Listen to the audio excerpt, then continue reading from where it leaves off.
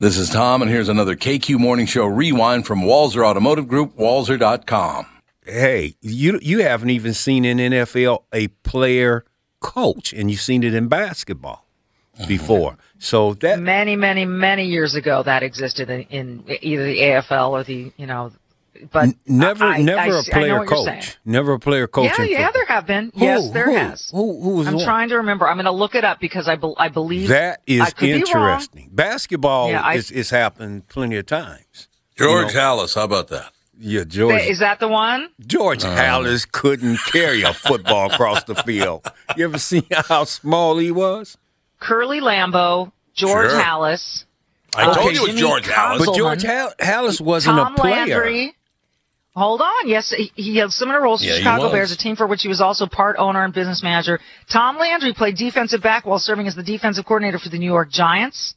Wait a minute, wait a minute. You said Dan Landry. Reeves was a player coach. See? No. Uh, see, I'm disputing all this. Uh, you, even though you Okay. reading, I, I remember Dan Reeves. I remember In being the a, early 1970s, when Landry was coach of the Dallas Cowboys, he made running back Dan Reeves a player coach. Yep. eh, nothing significant about that. I, I mean, I, I, Oh, I, don't, I don't. I mean, a position. fact that you were wrong. I'm talking about no position. this is a position. I'm talking about head coach, like you know Landry, a head coach, not a position coach. Like you, you're the running back Right. coach. No, you know know, what you're saying. I'm talking about head coach. You find me a head coach. I think that. that 1919, Curly Lambeau. So he played, he played, and he was the head He coach at the same time. At 1919, he was a player and a head coach.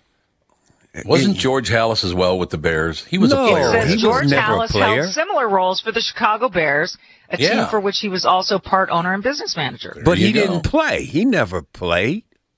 Oh, blah, blah, blah. Papa Bears. He's Halas. a player, coach, and yes, he was. He played. Boy, you you you so far back and old and 1919. Who cares told you it about was a nine? long time Who cares about I you it was a long time 1919? You know, what George was- Halas cares. Did the Titanic George Halas, sink Curly Lambeau, in 1919? I mean, whoa, we so far back on that one. Ain't gonna happen. I told you it was a long time ago. I'm gonna didn't look. say it was I'm gonna last look because I'm not. You know, I don't trust nobody, Okay. especially if it's written. This is Tom Barnard. You just heard another KQ Morning Show rewind from my guys at Walser Automotive Group, walser.com. Hear today's entire KQ Morning Show on demand at 92kqrs.com, the KQ mobile app, or on iTunes.